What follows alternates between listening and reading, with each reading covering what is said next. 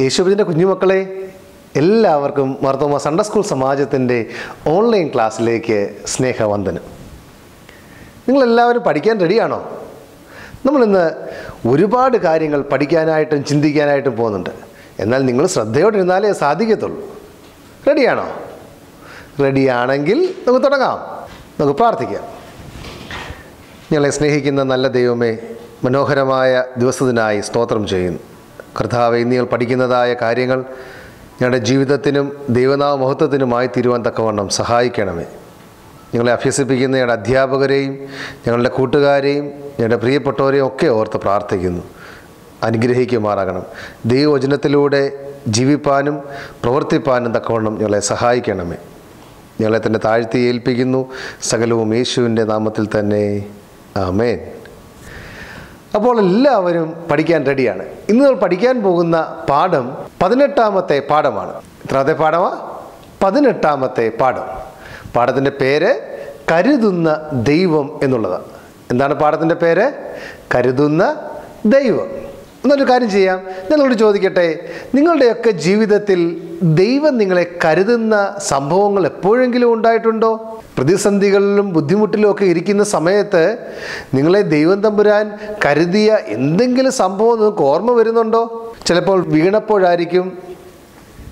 ചിലപ്പോൾ നമുക്ക് കളിപ്പാട്ടമില്ലാതെ വിഷമിച്ചിരുന്നപ്പോഴായിരിക്കും. ചിലപ്പോൾ നമുക്ക് കൂടെ കളിക്കാൻ ആരും എന്നിരുന്ന സമയത്തായിരിക്കാം. എപ്പോഴെങ്കിലും നിങ്ങളുടെ ജീവിതത്തിൽ ദൈവത്തിന്റെ കരുതൽ അനുഭവിക്കാൻ സാധിച്ചിട്ടുണ്ടോ? നമ്മളെ സ്നേഹിക്കാനും കരുതുവാനും ഒക്കെ നമ്മുടെ മാതാപിതാക്കളും നമുക്ക് കൂട്ടുകാരും ഒക്കെ ഉണ്ട്. എന്നാൽ ചില കൂട്ടുകാർക്ക് അവരുടെ മാതാപിതാക്കൾ നഷ്ടപ്പെട്ടു പോയിട്ടുണ്ട്.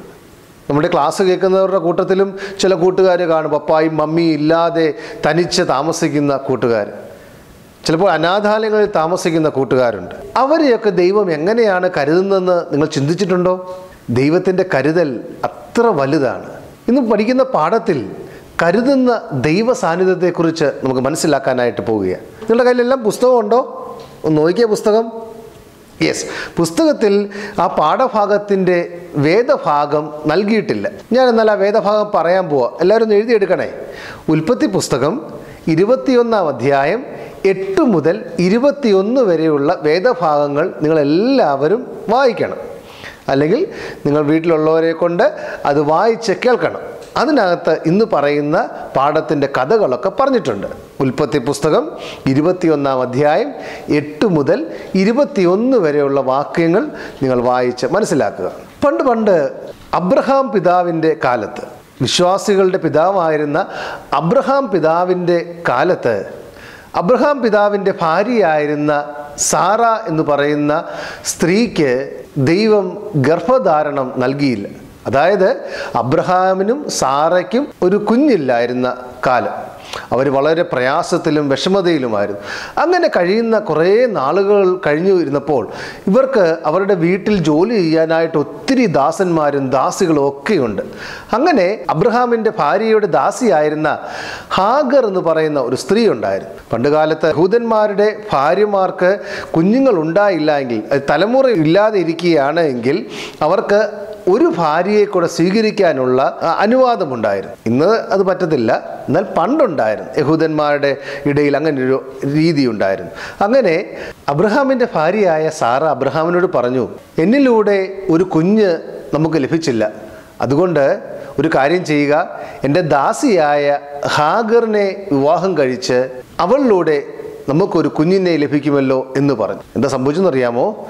അബ്രഹാം ആ വാക്ക് അനുസരിച്ച് ഹാഗറിനെ പരിഗ്രഹിച്ച് ഒരു കുഞ്ഞൊക്കെ ഉണ്ടായി. ആ കുഞ്ഞിന് ഒരു പേരിട്ടു. എന്നറിയാമോ ഇസ്മായേൽ എന്നാണ് ആ കുഞ്ഞിന്റെ പേര്. അതും ദൈവദൂതൻ പറഞ്ഞതാണ് കേട്ടോ. അബ്രഹാമിന്റെ ഭാര്യയായ സാറ ഈ ഹാഗർ ഗർഭിണിയായെന്ന് കണ്ടപ്പോൾ അവളോട് ഇഷ്ടക്കേടൊക്കെ തോന്നി അവളോട് ഒത്തിരി അനിഷ്ടമായ ദേഷ്യപ്പെടുകയും പ്രയാസപ്പെടുത്തുകയും ചെയ്തപ്പോൾ ഈ ഹാഗർ ഓടിപ്പോയതാ ഈ വീട് വിട്ട്. എന്നാൽ ദൈവം അവളോട് പറഞ്ഞു വീണ്ടും മടങ്ങി വന്ന് ഈ സാറായുടെ കൂടെ താമസിക്കുന്നൊക്കെ പറഞ്ഞു. അങ്ങനെയാണ് വീണ്ടും താമസിച്ചത്. അവിടെ വെച്ചാണ് ദൈവദൂതൻ ഹാഗറിനോട് പറഞ്ഞു നിന്റെ കുഞ്ഞുണ്ടാകുമ്പോൾ കുഞ്ഞിന്റെ പേര് ഇസ്മായേൽ നിടണമെന്നൊക്കെ ബൈബിളിൽ പറഞ്ഞിട്ടുണ്ട്. എന്നാൽ എന്താ സംഭവിച്ചെന്നറിയാമോ? ഈ ഹാഗർ സാറായുടെ കൂടെയാണ് താമസിച്ചത്. എന്നാൽ കുഞ്ഞുണ്ടായി കഴിഞ്ഞപ്പോഴത്തേക്കും ഹാഗറിനോട് സാറായിക്ക് ഇഷ്ടക്കേട് തോന്നി. അങ്ങനെ കുറച്ചു നാൾ കഴിഞ്ഞ ശേഷം എന്താ സംഭവിച്ചെന്നറിയാമോ? സാറായും ഗർഭിണിയായി. ദൈവം അവളെ അനുഗ്രഹിച്ച് അവക്കും ഒരു കുഞ്ഞിനെ കൊടുത്തു. അബ്രഹാമിലൂടെ സാറ ഗർഭിണിയായി ഒരു കുഞ്ഞിനെ കൊടുത്തു. അബ്രഹാമിനും സാറായ്ക്കും ഉണ്ടായ കുഞ്ഞിന്റെ പേരെന്തറിയാമോ? ഇസഹാക്ക്. എന്താണ്? ഇസഹാക്ക്. അപ്പോൾ ഇസഹാക്കിനെ കിട്ടിക്കഴിഞ്ഞപ്പോൾ ഈ സാറായിക്ക് ഹാഗറിനോട് ഭയങ്കര ദേഷ്യം തോന്നി. അബ്രഹാമിനോട് പറഞ്ഞു എത്രയും വേഗം ഈ സ്ത്രീയെ ഇവിടെ നിന്ന് പറഞ്ഞു വിട്ടേക്കുക. ഇനി ഇവിടെ നിർത്തിയാൽ എന്റെ മകന് കിട്ടേണ്ട അവകാശമൊക്കെ ഇവളും ഇവിടെ മകനും കൊണ്ടുപോകും. അതുകൊണ്ട് ഇവരെ പറഞ്ഞു വിടാൻ പറഞ്ഞു. അപ്പം ദൈവം അബ്രഹാമിനോട് പറഞ്ഞു നീ അവളെ സാറ പറഞ്ഞതുപോലെ പറഞ്ഞു വിട്ടേക്കുക. ദൈവം കരുതിക്കൊള്ളും എന്നുള്ളത് അബ്രഹാമിനോട് ദൈവം അറിയിച്ചു.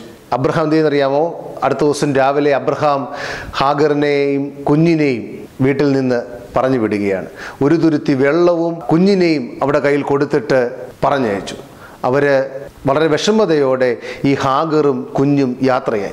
എങ്ങോട്ടാ പോകുന്നറിയാമോ? നടന്നു നടന്ന് ബേർഷേബ മരുഭൂമിയിലെത്തി. കുറേ ദൂരങ്ങൾ ആ മരുഭൂമിയിലൂടെ അലഞ്ഞു നടന്നു. നടന്നിട്ടും അവിടെ തുരുത്തിയിലുണ്ടായിരുന്ന വെള്ളം തീർന്നു. ഇനിയും മുമ്പോട്ട് പോയാൽ മരിച്ചു പോകും എന്നുള്ളത് ഇവർക്ക് മനസ്സിലായി. കുഞ്ഞ് മരിച്ചു പോകും എന്നുള്ളത് ഈ ഹാഗറിന് മനസ്സിലായി. ഹാഗർ എന്തെന്നറിയാമോ ഒരു കുറുങ്കാട്ടിൽ അല്ലെങ്കിൽ ഒരു കൊച്ചു കാട്ടിൽ കാട് പോലെ ഒരു സ്ഥലമുണ്ടായിരുന്നു. അവിടെ ഈ കുഞ്ഞിനെ കൊണ്ട് കിടത്തിയിട്ട് അവൾ ഒരു അമ്പിൻപാട് അകലെ എന്നാണ് ബൈബിളിൽ പറയുന്നത്. അതായത് ഒരു അല്പം ദൂരെ കുറച്ച് ദൂരെ മാറിയിരുന്ന് കുഞ്ഞിന്റെ മരണം കാണാൻ വയ്യാത്തത് കൊണ്ട് അവൾ അവിടെ ഇരിപ്പ് തുടങ്ങി. എന്നാൽ എന്താ സംഭവിച്ചതെന്നറിയാമോ? ദൈവത്തിന്റെ ദൂതൻ അവൾക്ക് പ്രത്യക്ഷനായിട്ട് അവളോട് പറഞ്ഞൊരു കാര്യമുണ്ട്. ദൈവശബ്ദം അവളോട് പറഞ്ഞു ഹാഗരെ നീ ഭയപ്പെടേണ്ട കരയണ്ട കുഞ്ഞിന്റെ നിലവിളി ദൈവം കേട്ടിരിക്കുന്നു എന്ന് പറഞ്ഞു. അപ്പോൾ ഇസ്മായേലിന്റെ നിലവിളി ദൈവം കേട്ടതുകൊണ്ട് എന്താ സംഭവിച്ചറിയാമോ ദൈവം ഹാഗറിന്റെ കണ്ണ് തുറന്നു എന്നാണ് ബൈബിളിൽ പറഞ്ഞത് കണ്ണ് തുറന്നിട്ട് അവൾ നോക്കിയപ്പോൾ ആണ്ടടാ ഒരു നീരുറവ് അല്ലെങ്കിൽ വെള്ള വെള്ളം എന്നതായ ഉറവ അവൾ കണ്ടു. അവിടെ നിന്ന് തുരുത്തിയിൽ വെള്ളമെടുത്ത് കുഞ്ഞിനും കൊടുത്ത് അവർ സന്തോഷത്തോടെ അവിടെ നിന്ന് യാത്ര തിരിച്ചു. അങ്ങനെ യാത്ര തിരിച്ചിട്ട് എന്താ സംഭവിച്ചറിയാമോ ദൈവം അവരെ അനുഗ്രഹിച്ചു. അങ്ങനെ യാത്ര ചെയ്ത് യാത്ര ചെയ്ത് അവർ പാരാൻ എന്ന് പറയുന്ന സ്ഥലത്ത് പാരാൻ എന്ന് പറയുന്ന മരുഭൂമിയിൽ പാർത്തു അവിടെ ജീവിച്ചു പൽ നല്ല പരാക്രമശാലിയായ നല്ല മിടുക്കനായ കുട്ടിയായിട്ട് ഇസ്മായേൽ വളർന്നു. ഇസ്മായേലിന് ഒരു ഭാര്യയെ മിശ്രൈമിൽ നിന്ന് അവന്റെ അമ്മ തന്നെ കണ്ടെത്തി കൊടുത്തു ഹാഗർ തന്നെ കണ്ടെത്തി കൊടുത്തു പ്രിയ കുഞ്ഞുങ്ങളെ ഞാൻ ചോദിക്കട്ടെ ഹാഗറിനെയും ഇസ്മായേലിനെയും ദൈവം തമ്പുരാൻ എത്ര അതിശയകരമായിട്ടാണ് കരുതിയത്. വെള്ളമില്ലാതിരുന്നപ്പോൾ അവർക്ക് വെള്ളം നൽകി അവരുടെ ബുദ്ധിമുട്ടിലും പ്രയാസത്തിലും ദൈവം അവരെ കരങ്ങളിൽ കൊണ്ടു നടന്നു. നമ്മുടെ ജീവിതത്തിന്റെ പ്രയാസങ്ങളിലും പ്രതിസന്ധികളിലും ഒക്കെ ദൈവം നമ്മുടെ കൂടെയുണ്ട്. അത് നമ്മൾ മറന്നു പോകരുത്. ബുദ്ധിമുട്ടും പ്രയാസങ്ങളൊക്കെ ജീവിതത്തിൽ കടന്നു വരുമ്പോൾ ജീവിതം അവസാനിപ്പിക്കേണ്ടതല്ല എന്നാണ് ഹാഗറിന്റെ ജീവിതത്തിലൂടെ അല്ലെങ്കിൽ ഈ പാഠഭാഗത്തിലൂടെ നമ്മളെ ദൈവം തമ്പുരാൻ പഠിപ്പിക്കുന്നത്. ദൈവം നമ്മളെ കരുതുന്ന ദൈവമാണ്. ഹാഗറിനെയും ഇസ്മായിലിനെയും കരുതിയതായ ദൈവം നമ്മളെയും കരുതുമെന്നുള്ളത് നമ്മളെല്ലാവരും ഓർത്തിരിക്കണം. ഓർത്തിരിക്കുമോ? ഓക്കെ വെരി ഗുഡ് ആ നമ്മുടെ പാഠഭാഗത്തിൽ ഒരു പാട്ടുണ്ട്. നമുക്കെല്ലാവർക്കും അറിയാവുന്ന ഒരു പാട്ടാണ് എങ്ങനെയാ പാടെന്ന് അറിയാമോ ഹാഗറീനെ പോലെ ഞാൻ കരഞ്ഞപ്പോൾ യാക്കോബീനെ പോലെ ഞാൻ അലഞ്ഞപ്പോൾ ഹാഗറീനെ പോലെ ഞാൻ കരഞ്ഞപ്പോൾ യാക്കോബീനെ പോലെ ഞാൻ അലഞ്ഞപ്പോൾ മരുഭൂമിയിൽ എനിക്കു ജീവജലം തന്നെ ഇത്രത്തോളം യഹോവ സഹായിച്ചു. മരുഭൂമിയിൽ എനിക്കു ജീവജലം തന്നെ ഇത്രത്തോളം യഹോവ സഹായിച്ചു. എല്ലാവരും പഠിച്ചോ? നിങ്ങളെല്ലാം ചേർന്ന് പാടാമോ പാട്ടൊന്ന്? ഇന്ന് വൈകിട്ട് നിങ്ങളുടെ വീട്ടിൽ കുടുംബ പ്രാർത്ഥനയിൽ നിങ്ങൾ ഈ പാട്ട് പാടണം. പാടുമോ ഇത്രത്തോളം യഹോവ സഹായിച്ചു. ഇത്രത്തോളം ദൈവം എന്നെ നടത്തി. ഇതാണ് ആ പാട്ടിന്റെ തുടക്കം. അതുകൊണ്ട് നിങ്ങൾ എല്ലാവരും പാട്ടുപുസ്തകത്തിൽ ആ പാട്ട് കണ്ടുപിടിച്ച് കുടുംബ പ്രാർത്ഥനയ്ക്ക് നിങ്ങൾ എല്ലാവരും പാടണം. കരുതുന്ന ദൈവത്തിന്റെ സ്നേഹത്തെ ആ കരുതലിനെ നമുക്ക് ഒന്നുകൂടെ ചേർന്ന് പാടി സ്തുതിക്കുകയും ചെയ്യണം. ചെയ്യുമോ? വെരി ഗുഡ് നമ്മുടെ പാഠഭാഗത്തിൽ കുറേ കാര്യങ്ങൾ പറഞ്ഞിട്ടുണ്ട്. കുറേ പദങ്ങൾ പറഞ്ഞിട്ടുണ്ട്. പരിചയപ്പെടാനായിട്ട് തുരുത്തി എന്ന് പറഞ്ഞിട്ടുണ്ട്. തുരുത്തി എന്ന് വെച്ചാൽ എന്താ? പാത്രത്തിൽ അല്ലെങ്കിൽ നമുക്ക് ഒരു വെള്ളം എടുക്കുന്ന ജഗ് പോലെയുള്ള ഒരു പാത്രമാണ് തുരുത്തി എന്ന് പറയുന്നത്. പിന്നെ പറയുന്നുണ്ട് കുറുങ്കാട് എന്ന് പറയുന്നത് കുറുങ്കാട് എന്ന് പറഞ്ഞാൽ എന്തുവാ? കൊച്ചു കാട് കുറ്റിക്കാട് പോലെയുള്ള കൊച്ചു കൊച്ചു ചെടിയോ മരമോ ഒക്കെ ഉള്ളതായ കാടിനെയാണ് കുറുങ്കാട് എന്ന് പറയുന്നത്. പിന്നെ പറഞ്ഞിരിക്കുന്നുണ്ട് അമ്പിൻപാട്. അമ്പെന്ന് പറയുന്നത് ഇങ്ങനെ അമ്പ് ചെയ്യുമ്പോൾ അമ്പിന്റെ നീളം പോലെയുള്ളല്ലേ അല്ലേ അമ്പിൻപാട്. വളരെ അല്പം ദൂരെ മാറി ഉള്ള സ്ഥലത്തിനാണ് അമ്പിൻപാട് എന്ന് പറയുന്നത്. പിന്നെ നീരുറവ എന്ന് പറയുന്നു. എന്താ നീരുറവ? വെള്ളം വരുന്നതായ ചെറിയ വഴിത്താര അല്ലെങ്കിൽ നീരുറവ എന്ന് പറയുന്നത്. ഈ പാഠഭാഗത്ത് ചില ചോദ്യങ്ങളൊക്കെ അതിന്റെ ഉത്തരങ്ങൾ നിങ്ങൾ പറയണം. ഹാഗറും മകനും ഏത് മരുഭൂമിയിലാണ് ഉഴന്നു നടന്നത്? ഞാൻ പറഞ്ഞായിരുന്നു ഏത് മരുഭൂമിയിലാണ് ഏത് മരുഭൂമിയില? ബേർഷേബ മരുഭൂമിയിൽ.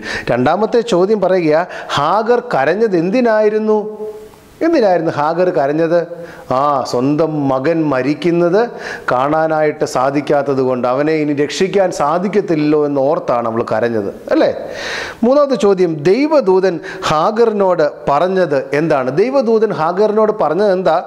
ഉൽപ്പത്തി പുസ്തകം ഇരുപത്തിയൊന്നാം അധ്യായത്തിന്റെ പതിനെട്ടാമത്തെ വാക്യത്തിൽ അത് പറഞ്ഞിട്ടുണ്ട്. അവന്റെ നിലവിളി ദൈവം കേട്ടിരിക്കുന്നു. നീ ചെന്ന് ബാലനെ താങ്ങി എഴുന്നേൽപ്പിച്ചു കൊള്ളുക ഞാൻ അവനെ ഒരു വലിയ ജാതിയാക്കും എന്ന് അരുളി ചെയ്തു. ഹാഗറിനോട് പറഞ്ഞതറിയാമോ നീ ഭയപ്പെടേണ്ട. ഞാൻ ബാലന്റെ നിലവിളി കേട്ടിരിക്കുന്നു എന്ന് ദൈവത്തിന്റെ അരുളപ്പാട് ഹാഗറിനുണ്ടായി. അല്ലേ? നാലാമത്തെ ചോദ്യം.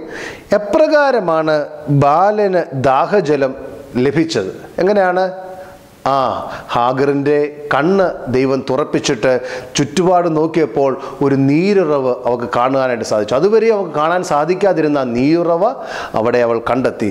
അതിൽ നിന്ന് വെള്ളം കുടിച്ച് അവർ സുഖമായിട്ട് തുടർന്നുള്ള കാലം മുമ്പോട്ട് ജീവിച്ചു എന്ന വേദപുസ്തകങ്ങളെ പഠിപ്പിക്കുന്നത്. അപ്പോൾ നമുക്ക് ഇന്നത്തെ പാഠഭാഗത്തിൽ ഒരു മനഃപ്പാഠവാക്യമുണ്ട്. അതുപോലെ തന്നെ രണ്ടാമത്തെ പാഠഭാഗമുണ്ട് രണ്ടാമത്തെ ആഴ്ചയുണ്ട്. നിങ്ങൾ രണ്ടാമത്തെ ആഴ്ചയിൽ കുറേ ചോദ്യങ്ങളുണ്ട്. കേട്ടോ അതെല്ലാ ചോദ്യവും ഞാൻ പറയുന്നില്ല നിങ്ങൾക്ക് നിങ്ങൾക്ക് കുറച്ചുകൂടെ പഠിക്കാനായിട്ട് ആ ചോദ്യങ്ങൾ ഞാൻ വെച്ചിരിക്കുക. അതുകൊണ്ട് നിങ്ങൾ അതിന്റെ ഉത്തരങ്ങൾ കണ്ടെത്തി അതിന്റെ ആൻസർ എഴുതണം. ആ പാട്ടൊക്കെ അതിനകത്ത് എഴുതിയിട്ടുണ്ട്. പാട്ട് നിങ്ങൾ വൈകിട്ടത്തെ കുടുംബ പ്രാർത്ഥനയിൽ പാടുകയും ചെയ്യണം. ഇന്ന് പഠിക്കേണ്ടതായ മനപ്പാഠവാക്യം ഉൽപ്പത്തി പുസ്തകം ഇരുപത്തിയൊന്നാം അധ്യായം അതിന്റെ പതിനേഴിന്റെ ബി എന്നാണ് പറഞ്ഞിരിക്കുന്നത്. ഉൽപ്പത്തി പുസ്തകം ഇരുപത്തിയൊന്നാം അധ്യായം അതിന്റെ പതിനേഴാമത്തെ വാക്യം. നീ ഭയപ്പെടേണ്ട. ബാലൻ ഇരിക്കുന്നിടത്ത് നിന്ന് അവന്റെ നിലവിളി ദൈവം കേട്ടിരിക്കുന്നു എന്നാ പറഞ്ഞിരിക്കുന്നത്. ഒരു പ്രാവശ്യം പറയാം. ഉൽപ്പത്തി പുസ്തകം ഇരുപത്തിയൊന്നാം അധ്യായം പതിനേഴാമത്തെ വാക്യം. നീ ഭയപ്പെടേണ്ട. ബാലൻ ഇരിക്കുന്നിടത്ത് നിന്ന് അവന്റെ നിലവിളി ദൈവം കേട്ടിരിക്കുന്നു. എല്ലാ കൂട്ടുകാരും വാക്യം പഠിക്കണം കേട്ടോ. വെരി ഗുഡ് രണ്ടാമത്തെ ആഴ്ചയിലുള്ള മനപ്പാട വാക്യം സങ്കീർത്തനങ്ങൾ നൂറ്റി ഇരുപത്തി ഒന്നിന്റെ എട്ട്.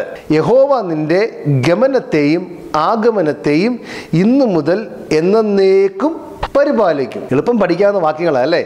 അപ്പോൾ നമ്മൾ ഇരുപത്തിമൂന്നാം സങ്കീർത്തനം പഠിച്ചു കഴിഞ്ഞു. ഇന്നിപ്പോൾ നൂറ്റി ഇരുപത്തൊന്നാമത്തെ സങ്കീർത്തനം പഠിച്ചു കഴിയുന്നു. അപ്പോൾ എല്ലാ കൂട്ടുകാരും ഈ കാര്യങ്ങളൊക്കെ ശ്രദ്ധയോടെ പഠിച്ചാൽ ദൈവത്തോട് ചേർന്ന് ഇനിയുള്ള കാല അനുഗ്രഹത്തോടെ ജീവിക്കാൻ സാധിക്കും. ദൈവം നമ്മളെ എല്ലാവരെയും കരുതും. അതുകൊണ്ട് പ്രാർത്ഥിക്കാം. കണ്ണുകളെ അടയ്ക്കാം. ഞങ്ങളെ കരുതുന്ന സ്വർഗീയ പിതാവേ ഇന്നേ ദിവസവും സൺഡേ സ്കൂൾ ക്ലാസ് പഠിക്കുവാൻ തക്കവണ്ണം ഞങ്ങളെ സഹായിച്ചതിനാൽ സ്തോത്രം ചെയ്യുന്നു.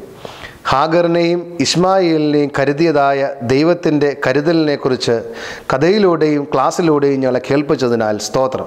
ഞങ്ങളുടെ ജീവിതത്തിലും പ്രതിസന്ധികളിലും ബുദ്ധിമുട്ടിലും തളർന്നു പോകാതെ കരുതുന്ന ദൈവസ്നേഹത്തെ തിരിച്ചറിഞ്ഞ് ജീവിപ്പാൻ തക്കവണ്ണം ഞങ്ങളെ സഹായിക്കണമേ. തുടർന്നുള്ള കാലവും അങ്ങയോട് ചേർന്ന് ജീവിപ്പാൻ ഞങ്ങളെ സഹായിക്കണം. സകലവും യേശുവിന്റെ നാമത്തിൽ തന്നെ. ആമേൻ.